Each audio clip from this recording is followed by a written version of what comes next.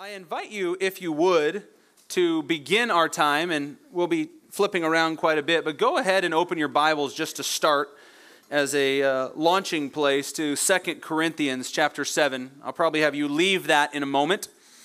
But the reason for that is I'm taking a little break this morning from the Gospel of John, only because next week we have our wonderful one year anniversary.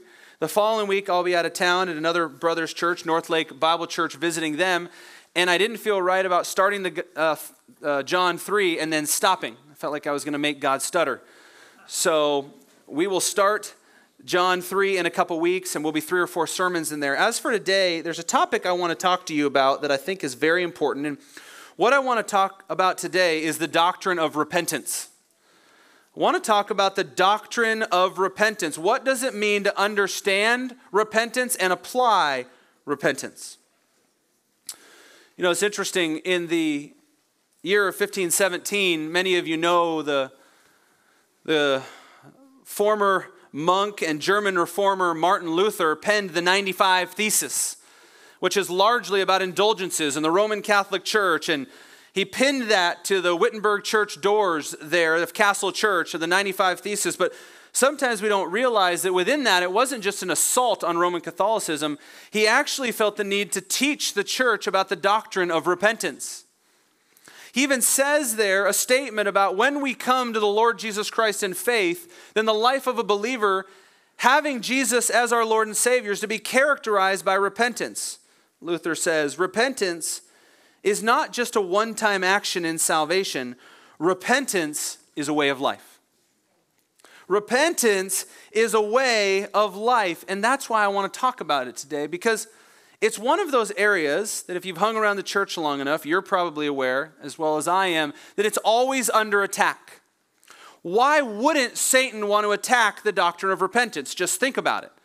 In true believers, if he can confuse their understanding of what it truly means to turn from sin for the glory of Christ, he can make the gospel look awfully ugly if a believer that professes to follow him still lives in constant patterns of unrepentant sin. So he loves to confuse the doctrine of repentance even for believers. And then unbelievers, fall fakes and phonies and pretenders and people that are self deceived, of course he doesn't want them to understand repentance. Because faith and repentance are both part and parcel of what God does in salvation. So if you can get a pretender or a false convert or a phony, someone self deceived, to think they know Christ but live a life of unrepentance, never coming to a true place of repentance before God, well, Satan loves that. He can leave them self deceived all the way to hell. And in my experience, for whatever reason, probably because the attacks on true doctrine over the last 50 years or so, specifically in the church, on what it means happens when God saves you and he becomes Lord of your life, there's been this attack on the doctrine of repentance, and it seems sometimes even well meaning, godly people that love the Lord are very clear on a whole lot of areas in the Christian life, but then you start talking about repentance and real and true repentance, and even wonderful people that love the Lord are a little fuzzy on this doctrine. And so, what I want to do is take some time today and establish what I hope for all of us is a clear understanding of what our Bible teaches about repentance, both in salvation and repentance in sanctification, the ongoing work that God's doing in our lives. So, just some introductory thoughts about repentance as we think about it. We should remember, first off, as you think about it, that repentance was a major preaching of Scripture, Old and New Testament.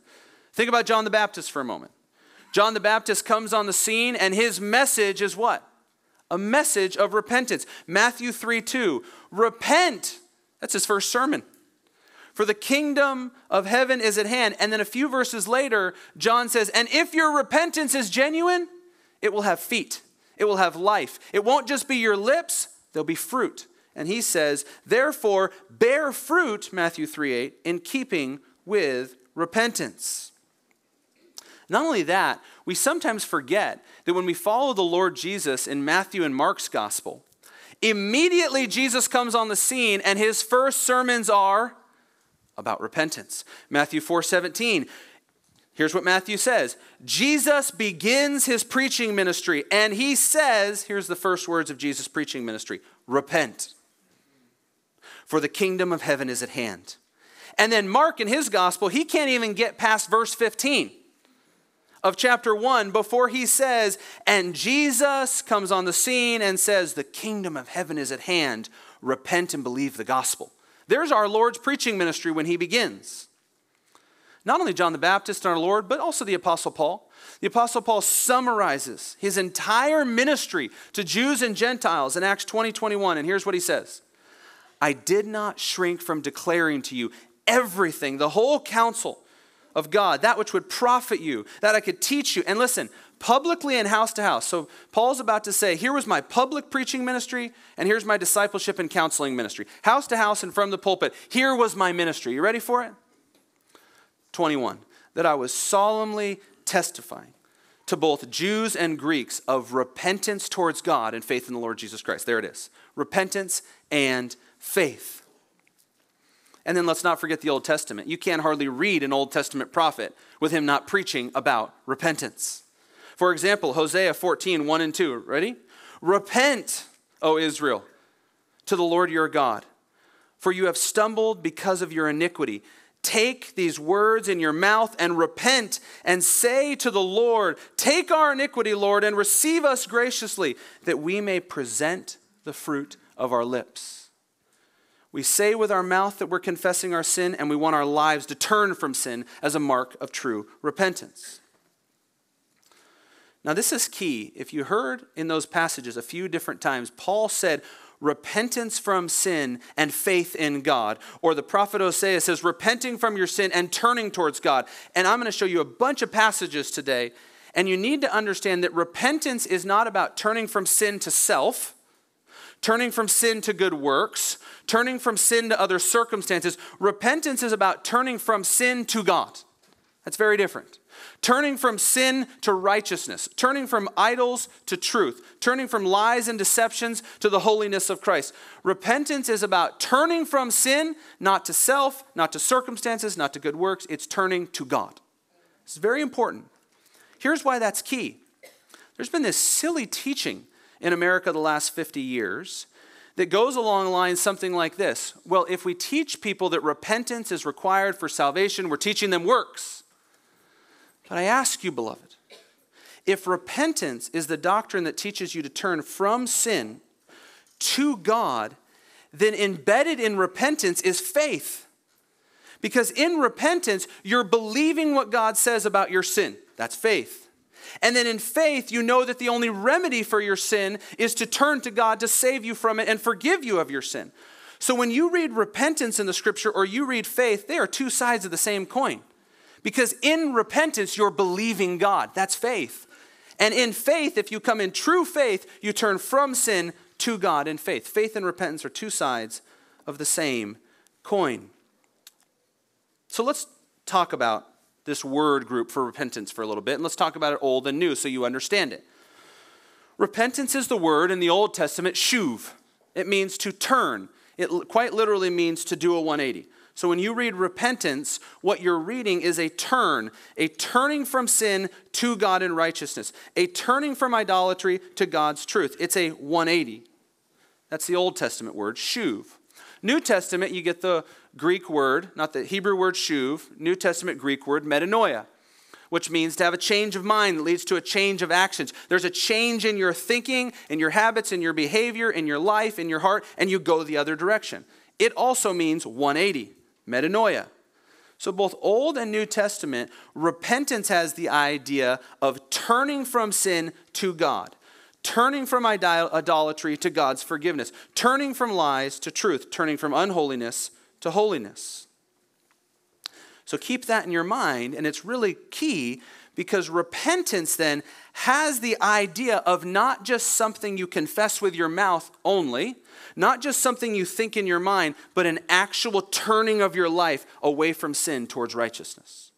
So that means some things. Repentance is more than just good intentions.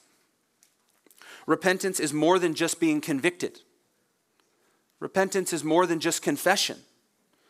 Repentance is actually turning from specific sins to righteousness, actually turning from your sins to God. And I think it's helpful for a second, now that I've established that the repentance idea has the idea of turning away from sin to God, to maybe break up repentance in maybe three different categories. This is going to be helpful for us. So, if you want to take the doctrine of repentance and spread it across the scope of Scripture, you could say this repentance involves conviction, repentance involves confession, and repentance involves turning from sin. Now, sometimes the Bible just says repent, and it includes you being convicted over your sin, you confessing your sin, and you turning from your sin. But there's other times the scripture actually breaks those out, and you see people that are convicted over their sin, confessing their sin, but they never truly repent.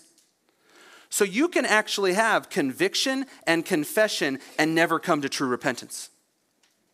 But in true repentance, you always have true conviction and true confession. Let me say it again. You can be convicted over your sin, confess your sin, and never truly come to repentance. But in true repentance, a turning, you are first convicted, and then you confess, and then you turn from your sin. So the, the repentance idea of going the other direction. So let me prove that from Scripture a little bit. I stated it to you, so let me prove it to you. So, in repentance, as we think about it, we've got three categories you've got conviction, confession, and you've got the repentance, the turning from it. So, here's what we could say about that. A person then, as I've shown you in a couple passages, cannot truly be saved unless they've had true repentance.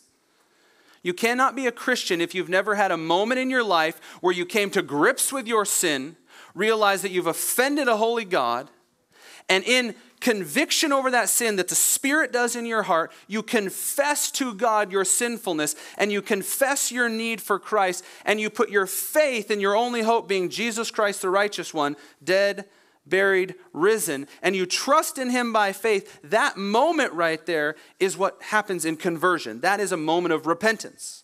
So if you said, I don't know if I've never repented in my life, well, then you're not saved. But if you have, if you are in Christ, at some moment in your life, you've had true repentance where there's a radical redirection from a life pursuing sin to a life pursuing Christ, a life sprinting towards hell to a life sprinting towards God's glory. There is a radical life altering 180. And that's a divine work and it's a human work. Let me show this to you. Turn over to 2 Timothy 2:24. Repentance in conversion has a divine side to it and it has a human dimension to it. And we live in the tensions of Scripture and we worship God as He lays them before us. So notice, here's the divine side of what God does to grant us repentance. Repentance is required of us, but it must be granted by our Lord. 2 Timothy 2:24. The Lord's bondservant must not be quarrelsome, able to teach, patient when wronged, with gentleness correcting those who are in opposition, if perhaps, don't miss this, 2 Timothy 2:25, God may grant them repentance. There it is. God gift them repentance. And that gifting of repentance, notice, leads to the knowledge of the truth. And what is happening in that gifting of repentance? Well, it is the full recovery from satanic influence and that they may come to their senses and escape the snare of the devil, having been held captive to do his will. So, when we think about repentance, we must realize there is a divine side of repentance. God must grant that to us. However, you go to other passages, and the same author here, who said that in 2 Timothy, Paul, turn over to 1 Thessalonians, he gives you the human dimension of repentance. And remember, conviction confession, repentance. Sometimes they're spread out, sometimes they're all together. I want you to notice you're going to see conviction and confession and a turning in this passage. You're going to see everything happen in Thessalonica. Notice here's the human dimension. So think about these tensions in Scripture. God requires we have faith, and He gives us the gift of faith. God requires that we repent of, the, repent of our sin, but He gives us the ability to repent. If we don't repent and we don't have faith, we're responsible. If we do have true faith and repentance, it's the mercy of God. This is the beautiful tension of Scripture. Notice the human dimension now of repentance. And now you're going to see conviction language, some confession language, and turning language. Paul is speaking in 1 Thessalonians 1 about the conversion of a bunch of godless, self worshiping, idol worshiping Gentiles. And notice what he says. Verse 5, 1 Thessalonians 1. For our gospel, the good news of Christ, did not come to you in word only, but in power of the Holy Spirit. There it is. So the Holy Spirit shows up, and notice what the Holy Spirit brings conviction. There's that first word I brought you. And the Holy Spirit shows up with conviction. Okay? And then he goes on to talk about the work God's doing in their life. And now skip down to verses 8 and 9. So they got convicted, and now we see they confessed and repented. Verse 8, here's the human dimension. For the word of the Lord has sounded forth from you, not only in Macedonia and Achaia, but also in every place. Notice, the word of God has gone forth, for they report about us what kind of reception we had with you. And notice, here's repentance language, how you turned to God, notice, from idols. You don't just turn from idols, you turn from your sin to God to find mercy and forgiveness, faith and repentance. Conviction, they were confessing their sinfulness, and they turned to God for forgiveness. Now, you may ask the question, and I stated a little bit, bit ago, but it's important to state again. Do we have illustrations in Scripture where we have people convicted over sin, confessing sin, but never truly turning from their sin and repentance? We do. In fact, turn to 1 Samuel 15. I'll show you a man who came, became convicted. He confessed, but he never wanted to give up his sin. It was still too precious to him. 1 Samuel 15. Turn there, if you would.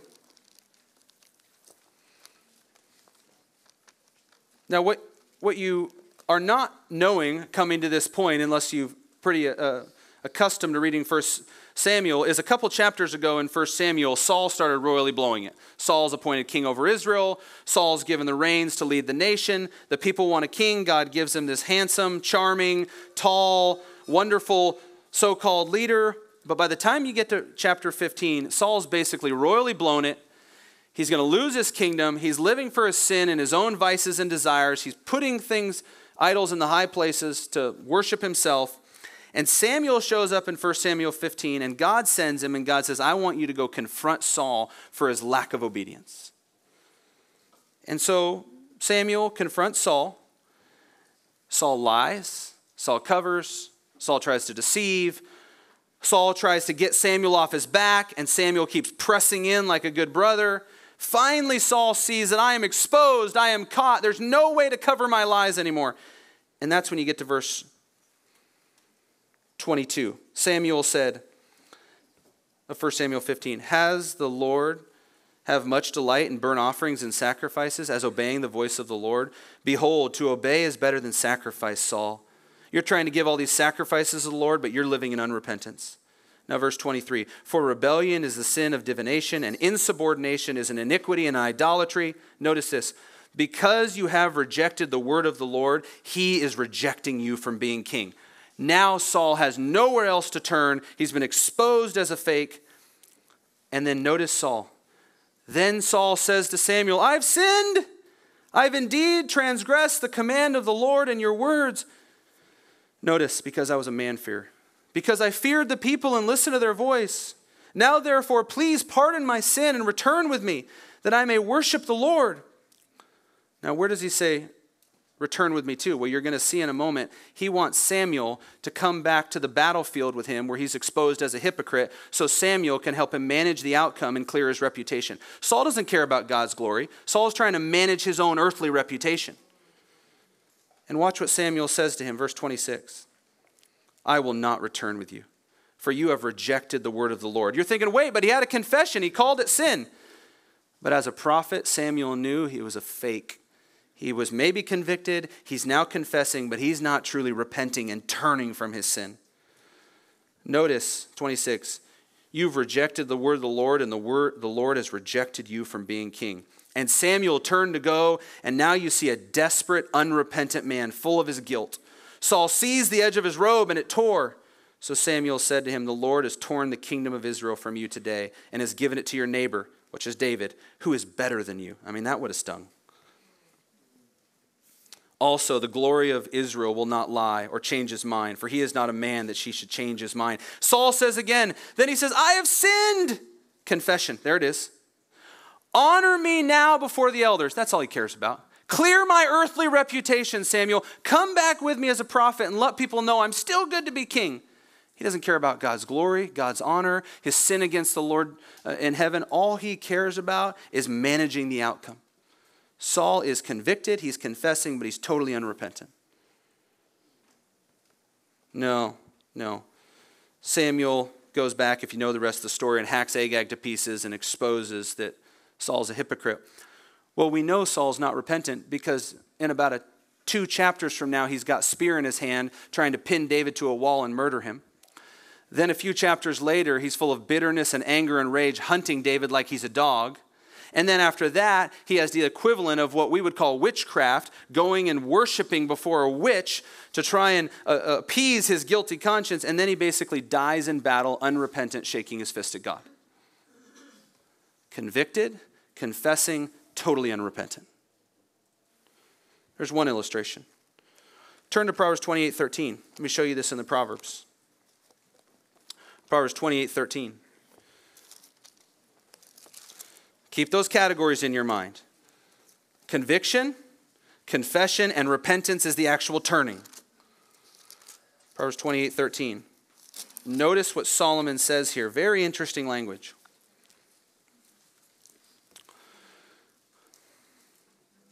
He who conceals his transgressions will not prosper. So he who lies, covers, minimizes, doesn't own sin, doesn't confess sin. He who lies and tries to keep his sin hidden, he will not prosper. But notice he doesn't say, but he who uncovers his sin will prosper. No, no, no.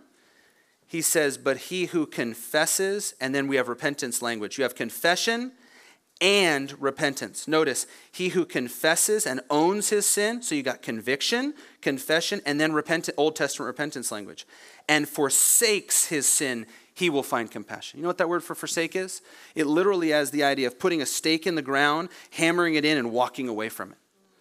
You want to know who finds God's compassion? Not just the confessor, not just the convicted one with good intentions, but the one that actually turns from their sin to God, runs from their unrighteousness, abandons their evil ways, and pursues God's glory. Notice it. You can conceal and have no compassion but you confess and you still don't forsake, the text doesn't say you find God's compassion. And by the way, compassion there doesn't only mean forgiveness of sin, it means empowerment to overcome sin.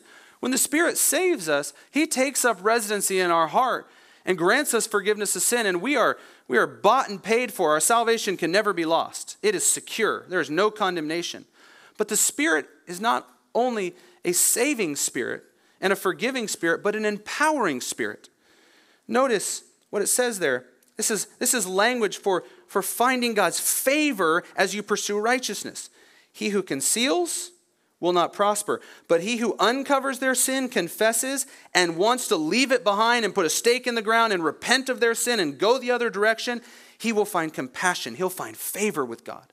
Saving favor, sanctifying favor, sustaining, stabilizing favor from God. So you've got it broken out there conviction, confession, and then repentance. Now turn to Hebrews 12, 14 to 17. Let me show you one more. That was illustrative from the Proverbs, but let me show you, like Saul, Esau.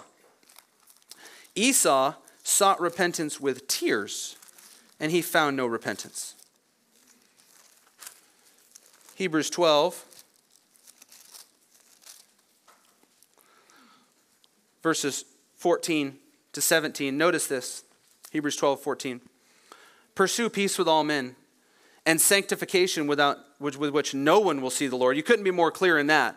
A believer is a person pursuing sanctification, holy living, period.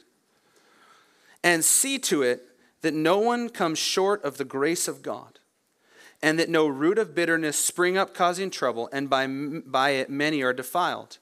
And then he illustrates it that there may be no immoral or godless person like Esau, who sold his birthright for a single meal. You know the story of uh, Esau giving up his entire future for a single moment of hedonistic passion to his brother. And notice, Esau sought repentance, but Esau's repentance, his convic- conviction, his confession, his seeking of repentance, it wasn't genuine. He didn't really want to turn from his sin for God's glory. He was all concerned about his earthly consequences and losing the blessing. Notice 17. For you know that even afterwards, when he desired to inherit the blessing, he was rejected, for he found no place for repentance, though he sought it with tears. Esau had worldly sorrow. Esau had worldly grief. Esau was upset that the circumstances weren't going his way. He wasn't concerned that he had offended the Lord of glory, he just wanted his birthright back. Conviction, confession, no repentance, no true granting of a changed heart. So, let me try and summarize a couple things, and then we're going to turn the corner here, and I think it'll be more practical for you. Man's only hope is in Jesus Christ and Christ alone and hope in the gospel, the good news of Jesus Christ. Turning from your sin to Christ, and God saves a person. Absolutely the full payment for sin. In true salvation, repentance is always there because the person becomes brand new. The things they used to love, they now hate. The things they used to hate, they now love. The sin they used to live in, they now run from. The friendships they used to just hang out with and love to live in, they now flee for godly friendships. The selfishness they used to pursue for self, they now pursue for Christ. It is a radical realtering and a redirection in life. 2 Corinthians 5:17 Therefore if anyone is in Christ he's a new creature. The old has passed away behold he's new. Repentance shows up. It may be incremental it may be uh, growing but there's going to be a radical change of direction in conversion. So a person without repentance cannot be a true Christian. Now we know that's true from Scripture. I've documented it. You can go to places like Luke 13 5, where Jesus says, Repent or you will perish. I've shown you other passages, but here, here's what I want you to think about. Well, that is absolutely true that we cannot be saved without true repentance and true confession and true brokenness before the Lord. It is also possible that after God saves us by the mercy of the cross of Christ, after God grants us faith and repentance, after we fall before His mercy and we receive a new heart and we have a changed life, believers, while we cannot have shallow repentance to be saved, we can certainly have a lot of shallow repentance after God saves us. You see, here's what happens, I think. We are so grateful for the grace of the gospel. We're so grateful for forgiven sin, and God saves us, and there's an, a radical realtering of our direction. Now we're pursuing Christ. And there's in our sin nature, there is something in us so quickly just becomes presumptuous on the blood of the cross. We become so casual about the sin that we were saved from. We become so complacent. And I think sometimes, even in good churches, we almost become conditioned to receive conviction. You know how it is? Oh man, great sermon. I'm so convicted. And then I confess that. And then I go into my week and I never turn in repentance and actually start pursuing the opposite of what I was pursuing. I actually convinced myself that conviction and confession was true repentance. But actually, I may have been true in the conviction. John 16, 8, what's the scripture say? The Spirit's convicting of sin, righteousness, and judgment. There you go. In John's gospel, a call for repentance. The Spirit convicts of sin, righteousness, judgment. That's all the time, beloved. We're always under conviction. Unbelievers are under conviction and they suppress it. Believers are under conviction and we're responding to it. Conviction comes from the word. But we get convicted and then we think, oh, I'm going to confess. I need to own that sin. And I go to passages on confession and I confess it. But repentance, then, in that confession, we come and we receive God's forgiveness and we're thankful for the gospel. But repentance is that ending of it where your conviction and your confession gets feet and you actually turn from your sin and do a 180 and go the other direction. But what we'll do is we'll go, I was convicted, I confessed, and then we don't do a 180, we do a 360. And we go right back to the sin that God just exposed us to. We go right back to the thing that we are confessing. We don't actually ever turn and go the other direction. You know what we're like? tell you what we're like and I'm just as guilty as the rest of you at times. Proverbs 26 11. Like a dog that returns to its vomit is a fool that repeats his folly. Like a dog that returns to his vomit is a fool that repeats his folly. Dear ones, we have to be so careful that we don't redefine the doctrine of repentance because it's kind of cathartic. It makes us feel a little bit better. Well, I was convicted and I confessed, but I'm right back to my same sin. Look, in your confession, if you're genuine, you know the power of the gospel, the forgiveness of sins. 1 John 1 9, we confess our sin and he's faithful and righteous to forgive us. Conviction, if it's coming from the Lord, that's from him, that's true. But the ending of the doctrine of repentance is are you actually going into your life in the areas you're convicted of and you're confessing and working to turn from sin to God? Working to turn from lies to truth, working to turn from wickedness to righteousness. Are you actually going and turning from your sin? That's repentance, the full expression of it. I'll give you another layer of this. You know what we do? It's even worse sometimes. We get convicted we confess to the Lord, and then we think, I'm going to tell a friend. I'm going to go get some prayer requests for this. And in the spirit of James 5, we go tell a friend, hey, I need to talk to you about some sin I'm struggling with. Praise the Lord. Confess your sin to one another. That's great. And then you leave there and you think, man, I feel good. I got that release off my back. I confess my sin to my brother. And then I just go right back to it. You just treated your friend like they were a Catholic priest. You just replace the priest with a friend. That's why people go to confession. It's a cathartic release. I feel guilty for my sin. I go to the confession. I tell the priest, I'm so sorry about my sin. Absolve me of my guilt. Now I can go back to my sin. We do this with friends and we almost become comfortable. We get like this Teflon around us. We get this residue that gets in this flow of conviction and confession, conviction and confession. And then you look at our life and you think, but am I turning from those things that the Spirit keeps mercifully convicting me of? I mean, Romans 2 4, it is the kindness and mercy and patience of God that leads you to repentance. Don't think lightly of it. Romans 2 4.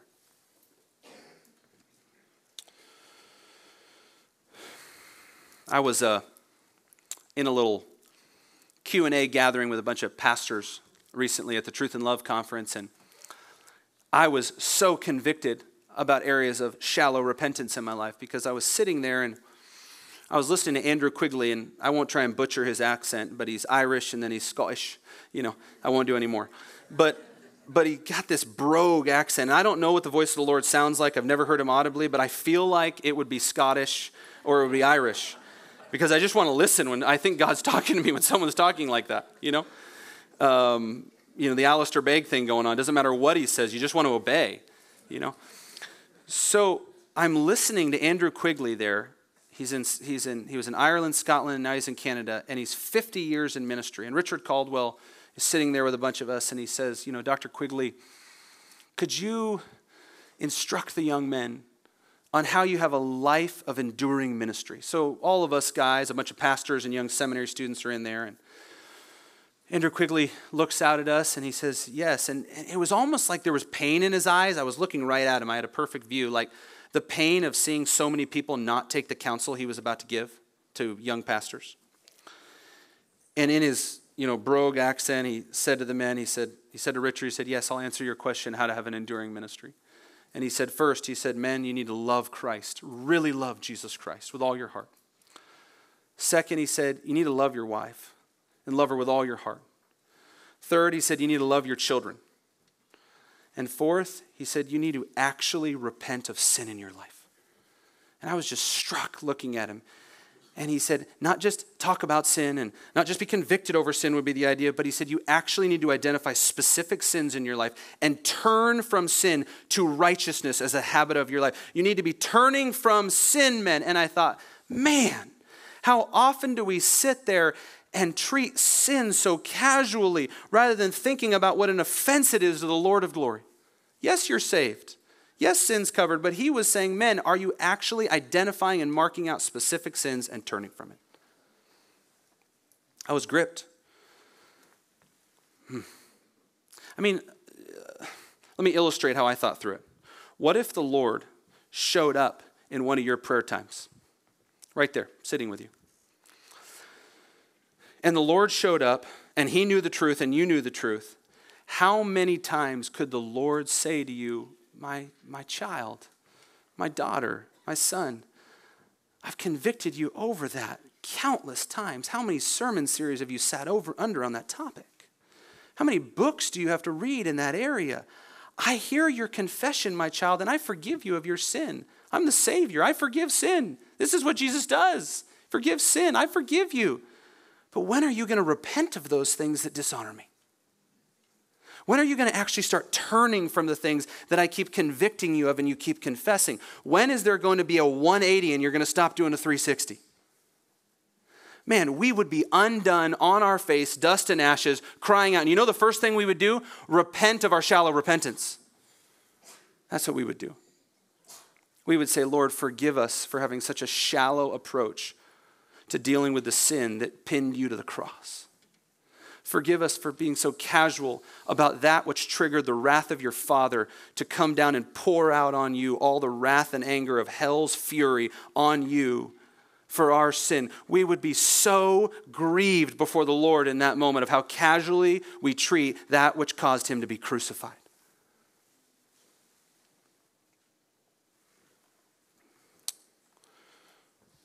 We need to get over this habit, beloved. So, what do we do? How do we turn the corner on this? We'll turn to 2 Corinthians 7 now. If you, if you ever left there, you can stay there. If not, go back. How do we cultivate, in these last few minutes before we take communion here, a better approach to repentance where our, our moments of true conviction and true confession turn into a turning from sin, a, a, a redirecting? 2 Corinthians 7. I'll just spend a few minutes in it here, but I think it'll be helpful to you. You know, Paul had an interesting relationship with Corinth. If you studied it, he wrote four letters to them, two of them inspired, two aren't. They were a very unrepentant church. They ran Paul out of town, they ran Timothy out of town. They were full of slander and gossip and immorality. They were not a great church. Not exactly your, your hallmark church to follow. And yet Paul loved them and he served them and his heart remained open to them. Well, finally, after much writing and content and a third letter to them, there is repentance that takes shape in their life. But Paul does not say in this passage, I hear you just confessing. I'm glad you're convicted. No, Paul says, I know your repentance is genuine because I see specific ways you're turning from your sin to righteousness. And he's writing to a church full of believers, by the way. Mostly believers. Some aren't believers.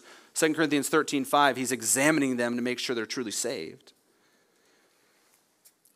But notice what he says there, verse 9, 2 Corinthians 7. Paul says this I now rejoice. Nothing thrills a pastor's heart more than seeing his people turn from sin, by the way. I now rejoice. And by the way, we should be like that in our friendships. When we see people caught in sin and they're turning, there should be a celebration. Not that you were made sorrowful, but that you were made sorrowful to the point of repentance. Stop there. Notice that here repentance is broken out from being sorrowful. So being convicted and confessed is broken out from repentance, you could say. Sorrowful is the idea, as I'm going to show you in a moment in this passage, of being grieved over your sin because of how it affects and offends God. To view your sin the way God views your sin. And Paul's about to say the soil of which true repentance flows out of and the fruit comes out of is godly sorrow. In fact, in this passage, godly sorrow is mentioned five times. Just look at the refrain. I now rejoice, not that you were made sorrowful, but that you were sorrowful, this godly sorrow, to the point of repentance. Here it is again. For you were made sorrowful, notice, notice, according to the will of God, a will of God sorrow, a sorrow that's in agreement with what God says about your sin. Notice he goes on, verse 10 For the sorrow, there it is, that's according to the will of God, produces a repentance without regret, leading to salvation. But there is a sorrow that's earthly Saul's sorrow, Esau's sorrow.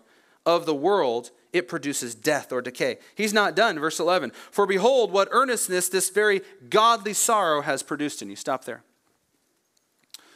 In our doctrine of repentance and our understanding of it, we can look at this passage and say that true repentance, true turning, flows out of this Godward sorrow. This Godward sorrow results in, we could say, turning from sin. So, what is godly sorrow? Well, notice it's contrasted there with worldly sorrow. Look at the text in verse 10. There's a sorrow that's according to the will of God, produces a repentance without regret. You don't look back and miss your sin, you just want to pursue righteousness, leading to salvation.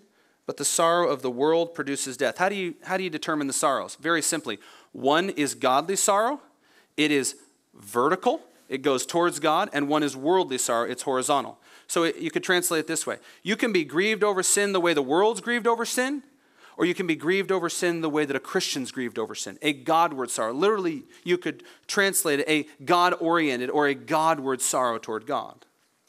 So, how's the world convicted over sin? They don't like consequences, they don't like shame, they don't like guilt, they don't like the fallout of their sin, they don't like difficulty that comes with sin.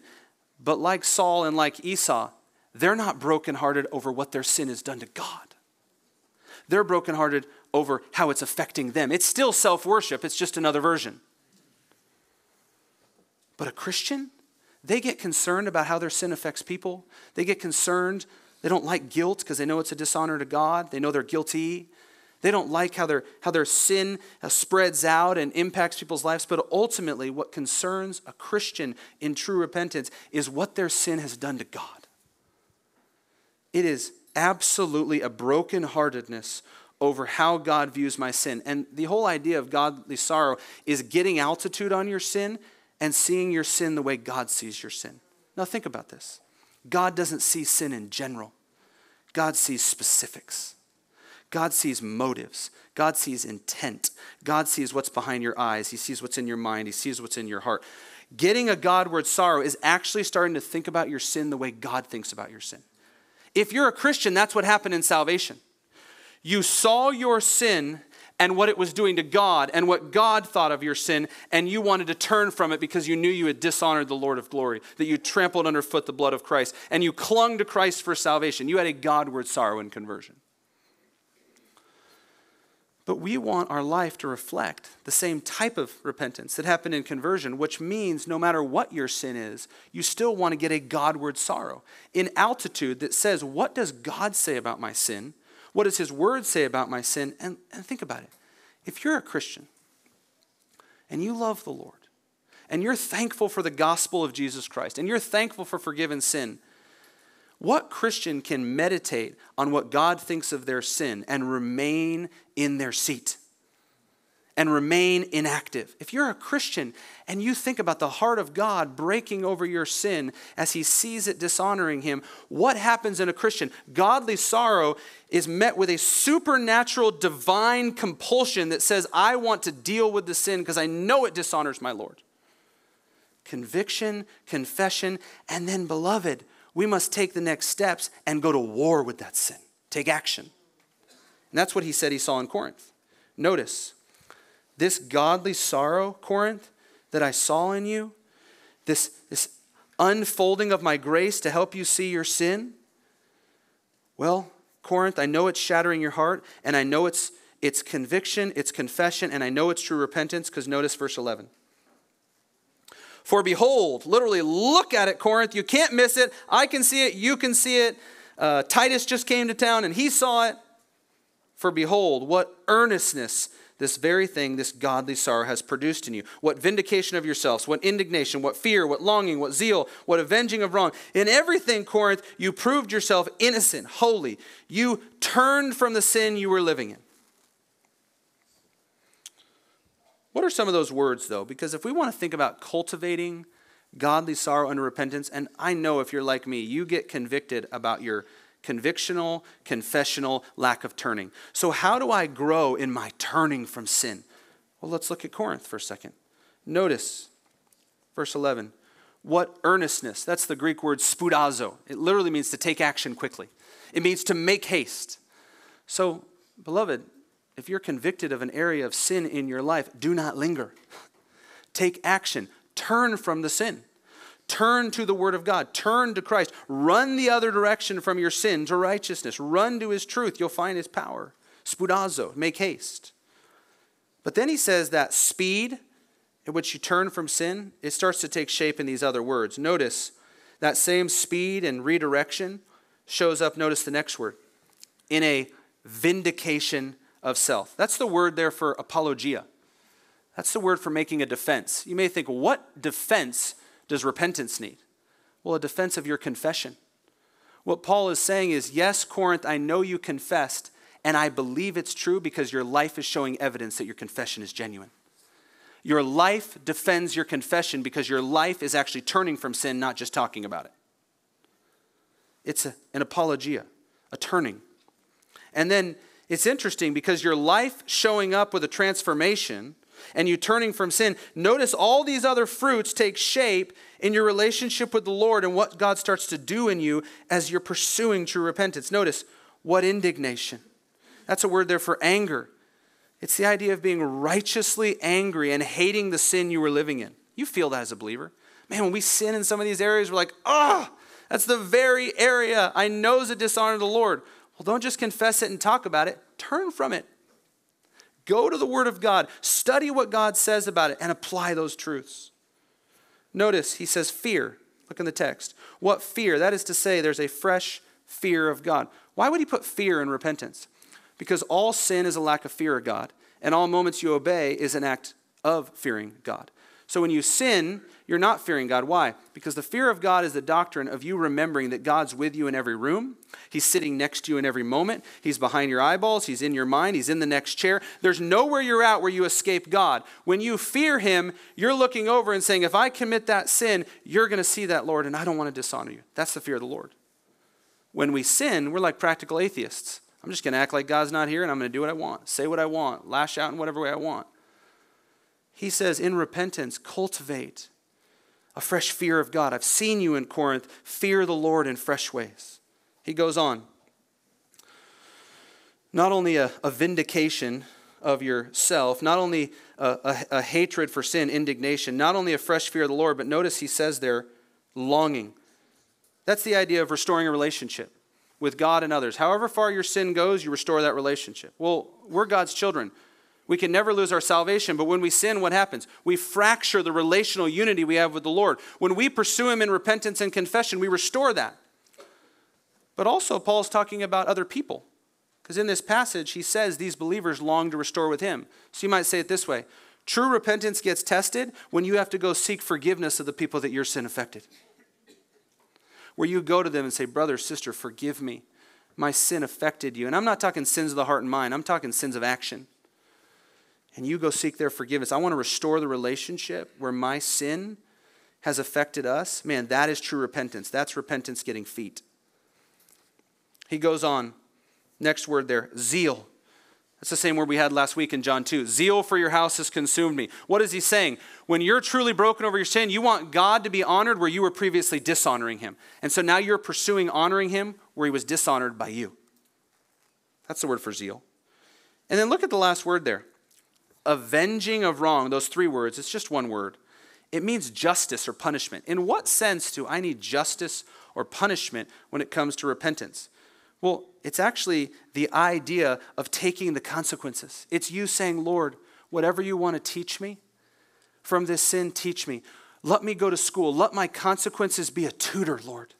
Do the thorough work you need to do so I don't sin in this area anymore. Make it thorough. Let the justice become upon me if you can get more glory.